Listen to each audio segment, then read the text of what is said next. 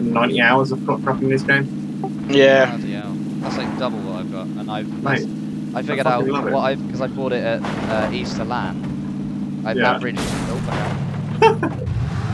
I've Doesn't know it that well. Over No. an hour a day. Where do I see the stats on it actually? There is somewhere. I mean, your gameplay hours is just in Steam, right? So Yeah, that's what I'm looking at at the minute.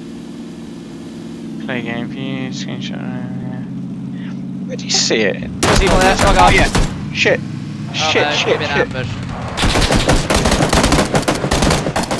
shit. Shit me, I was in the fucking map. I Was thought I not looking.